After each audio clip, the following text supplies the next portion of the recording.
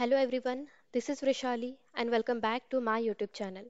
In previous session we discussed about network layer protocols with example. I have mentioned a complete computer network subject playlist link in below description box. Now in today's session we will discuss the next important topic that is static versus dynamic routing. Let's start the session. At the end of this session, you should learn about types of routing and difference between that and at the end we will discuss the question bank. Now, the first point is what exactly routing. As we discussed earlier, in computer network, multiple devices are present and all the devices are connected with each other. These devices share information with each other, right? Now, in network layers, there is a routing algorithms. Routing algorithms find out the efficient path to travel information from source to destination accurately. This routing algorithm, they find out the path on the basis of distance, traffic and available bandwidth. To find out the efficient part, they optimize the network performance. There are total four types of routing algorithms like static routing, dynamic routing, distance vector routing and link state routing. In this session we discuss static and dynamic routing. Let's discuss it one by one. Now, first we understand the concept of static routing according the example. Consider that in this first step, there are total 5 routers are present in network. Router is one kind of devices that is used to connect the different types of LAN or local area networks. Now, suppose this R1 router want to send information to the R3 by using static routing. So static routing are manually performed. There is a one person which is called as network administrator. Network administrator manually decide the path that is R1 to R2 and R2 to R3. So this path is manually decided and stored into the routing table. So a particular router send information according to this path. But sometimes what happen due to some network error this R2 gate fail. So at that time what happen R1 can't send information to the R3 because in this particular path R2 gate fail. So at that time network administrator manually generate the new path. They manually identify the new path that is R1 to R4, R4 to R5 and R5 to R3. So this is a path between R1 to R3. So in static routing to find out a particular path that have done manually by network administrator. That's why their 24 by 7 support is required and it is a very time consuming process, right?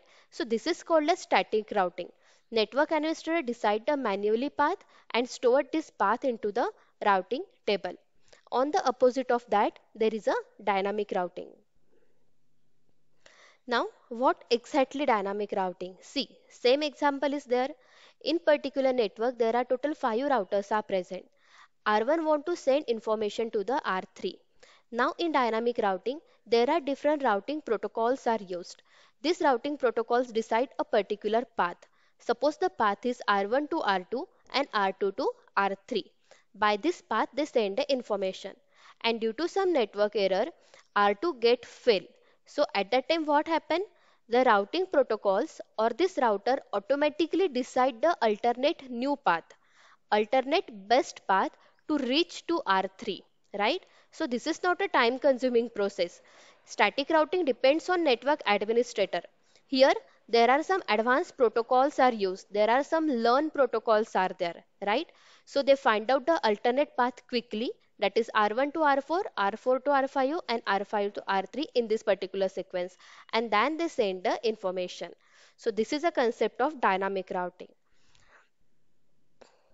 Now let's see in discuss the difference between static and dynamic routing.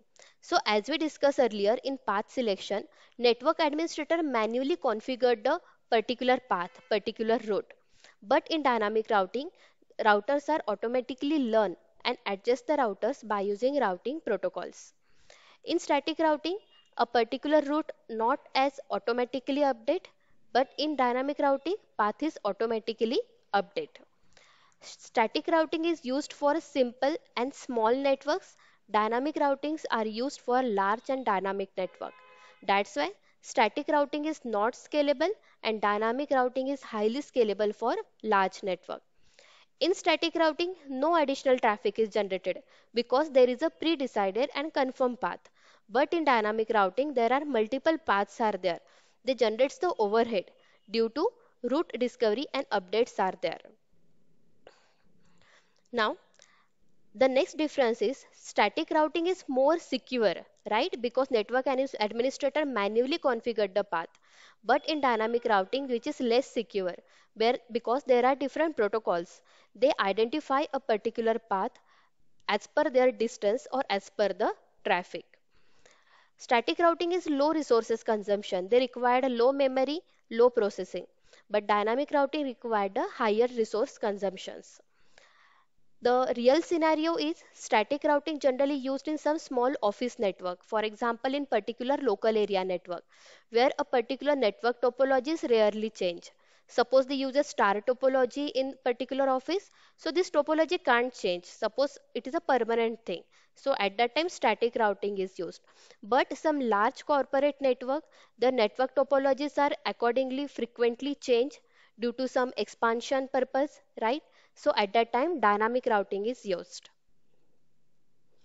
Another example, see, suppose in static routing, there are two routers in network. Okay, this is the same example as we discussed earlier. Router A, the address is this and router B, IP address is this. Now router A want to send information to router B. So there is a network administrator. They manually check the path between router A to router B by using this command that is IP route address. So this command is used to find out a particular path and check the particular traffic is there or not. On the another side there is a dynamic routing. So they send information with each other by using routing protocols. This routing protocols like RIP, IGRP, OSPF. These routing protocols are automatically discovered the best path in particular network. So this is a basic difference between static and dynamic routing. Now, as per your previous year question paper, this difference is important. At least you have to mention minimum 6 points. So for 6 marks. So you have to prepare this difference with example. So this is all about. Thank you. Keep learning.